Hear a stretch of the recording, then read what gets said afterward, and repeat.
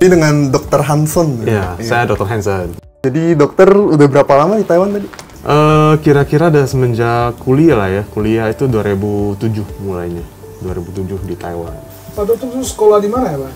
Eh, dulu saya kuliah di Taita. Jadi saya kuliah di Taita itu NTU selama tujuh tahun. Setelah tujuh tahun itu eh, kerja sebagai dokter umum eh, di rumah sakit Xintian Yuan setahun. Nah, habis eh, dokter umum setahun, kita harus eh, pengambilan spesialis. Jadi kita bisa terserah memilih spesialis apa dan kebetulan saya eh, milihnya dokter spesialis uh, Jaike uh, Family Medicine. Itu tiga tahun lagi. Nah, setelah uh, di training kerja tiga tahun, ujian dapat license spesialis kedokteran uh, Jaike Family Medicine, barulah saya keluar ke uh, Zensou untuk kerja. Selama menjadi dokter, apa sih kesan dan pesan atau pengalaman berharga yang pernah dokter alami? eh sebenarnya jadi dokter tuh awal pasti susah lah ya, apalagi pas lagi kuliah gitu, agak susah, sulit lah ya.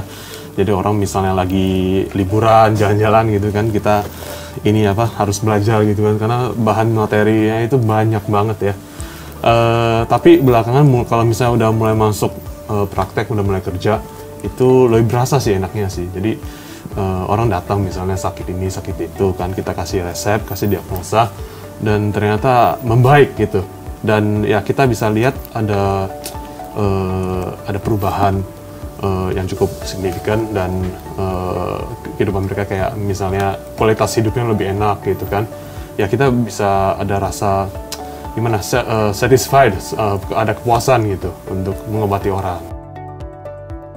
Biasa kalau mau datang ke sini, konsultasi perlu apa aja ya dok? Eh, biasanya sih ya cukup ambil cempau ya. Eh, kartu cempau. Datang tinggal kuahau kasih nama. Ya kasih tunjukkan cempau itu saja cukup. Banyak orang Indonesia gak sih yang datang ke sini? Eh, cukup banyak ya. Karena eh, di daerah Chongyonghe sini kan eh, orang Indonesia cukup banyak apalagi yang jaga kakek nenek ya biasanya tuh mereka banyak keluhan misalnya susah tidur atau eh, ototnya lagi sakit lagi nyeri Nah, mereka lebih seringnya keluhannya di otot eh, atau susah tidur gitu jadi cukup banyak sih orang Indonya Dengar-dengar dokter nanti bakalan datang ke TMS ya? Iya. Buat ngadain acara konsultasi ya betul gratis. benar Boleh tahu gak tanggal berapa? tanggal 23 Juli ya eh, 2023 ya eh, hari Minggu hari itu Kenapa dokter mengadakan acara tersebut? Eh, karena gini, saya melihat tuh banyak orang Indonesia di Taiwan dan mereka eh, banyak sekali yang belum bisa eh, berbicara dalam bahasa In- Mandarin dengan baik gitu kan. Dan kadang tuh kalau lagi sakit mau ke dokter aja tuh kadang tuh agak sungkan ya, agak takut gitu. Misalnya nih nyeri otot atau sakit kepala, itu ngomong aja susah. Ya jadi saya pengen eh, membantu lah, maksudnya untuk orang-orang Indonesia di Taiwan kurang bisa bahasa, bahasa Mandarin, ya saya bisa kasih konsultasi dalam full bahasa Indonesia gitu biar sekalian semuanya tahu orang Indonesia tahu bahwa eh, ini ada dokter Indonesia di Taiwan khususnya di Taipei. Saya sendiri eh, ada di Index Taipei Main Station tanggal 23 Juli mulai jam 1 sampai jam 3 sore.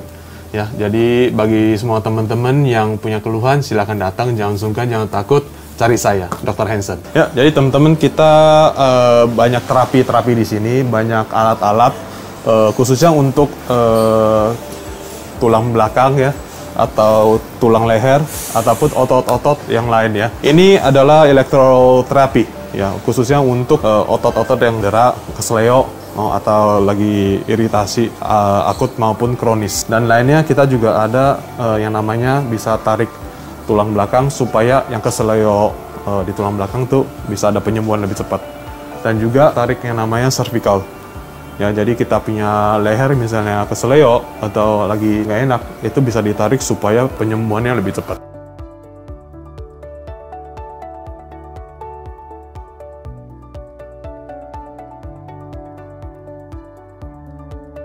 Sampai ketemu di Index Taipei Main Station. See you!